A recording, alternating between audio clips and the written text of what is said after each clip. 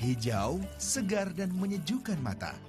Aneka komoditi sayur seperti cabai, mentimun, kol, dan bayam terhampar.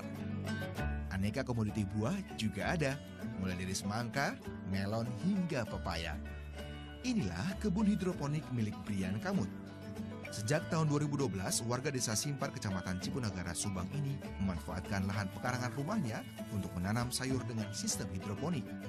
Kita sebenarnya karena tinggal di pedesaan ya, agak ke ke apa pasar itu agak jauh.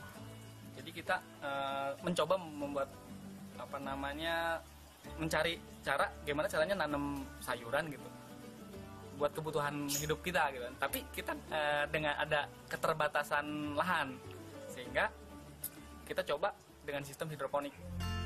Hidroponik adalah membudidayakan tanaman dengan memanfaatkan air tanpa menggunakan tanah. Pertumbuhan tanaman menekankan pada pemenuhan kebutuhan nutrisi bagi tanaman. Karena itulah, meski lahan milik Brian hanya berukuran 9 meter persegi, hasilnya maksimal. Dari awalnya sekedar memenuhi kebutuhan sendiri, hingga kini menjadi sumber penghasilan.